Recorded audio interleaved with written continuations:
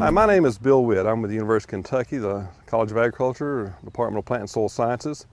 And my uh, profession is as a weed scientist, where I work on removing weeds that we don't want uh, in any one place. And those plants that we call weeds, like this thistle, are weeds only because humans don't like them. These plants we call weeds grow exactly where they're supposed to. They have an ecological niche and they just are happy to be there. And in our case, many of these are very happy to be in our horse pastures. This particular one is musk thistle, sometimes called nodding thistle, depending on what part of the country you're in. This thistle and this one are plumeless thistle or biennial thistles. And in the second year of growth, they produce a seed stalk and produce seeds.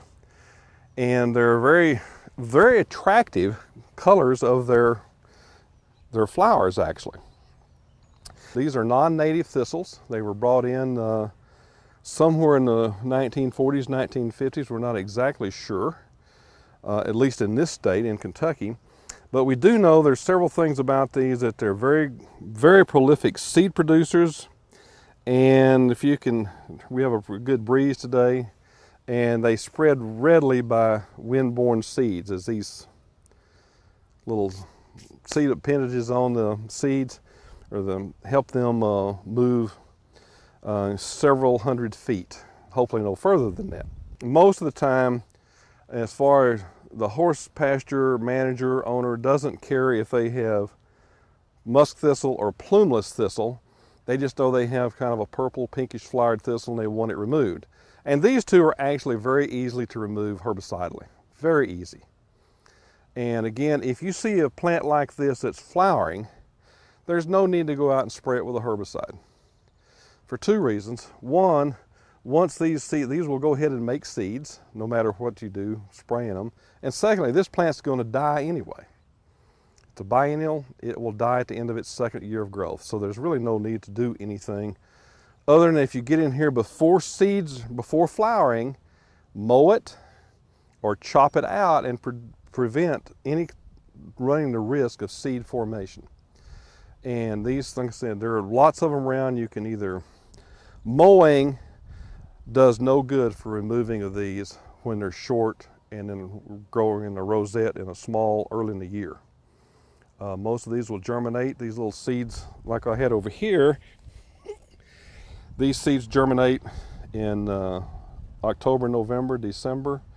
Uh, generally in October and November, and that's a great time if you're going to spray them. But they have little tiny plants, and the whole time you're mowing a pasture, you're just mowing right over the top of them and doing no good until they get stem elongation and then you can mow them off with a mower. Behind us is another thistle. This is bull thistle.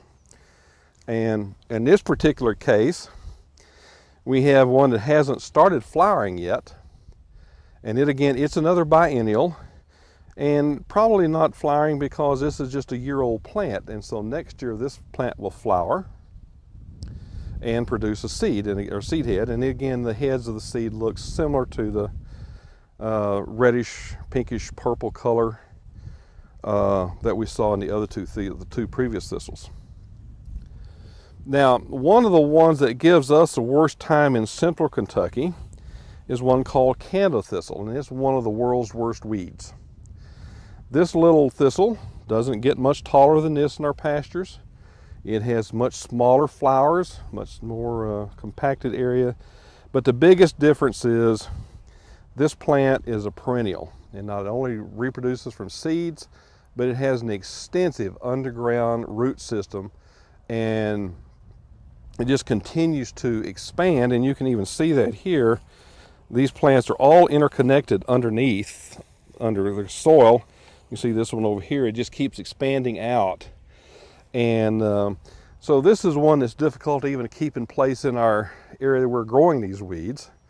It's just a very, very robust problem. It's called Canada thistle in this country. It was introduced into Canada from uh, Europe. And in Kentucky, we are sort of on the southern range of its adaptability. It does much better to the north of us. So you won't, you'll see this occasionally in some places south of Kentucky, but not very much in the southern U.S. But uh, again, it is the um, all my 40 years of trying to kill weeds. This is the toughest one I've ever run into. It's very difficult, and it's just as difficult in crops as it is pastures. So if you don't have it, work hard at not getting it. Prevention is always the best way on these weeds. Or if you see a little patch like this, chop it up, take it out of there. You should dig it up and take it out of there, but if you're not into that, just every year keep it going from seeds and you'll eventually get some semblance of control with this. But again, this is a very, very tough weed. And the biggest difference between this one and the three biennial thistles we talked about, they tend to grow off by themselves in just individual plants. These grow in thick mats and literally will get so thick that you can hardly walk through them.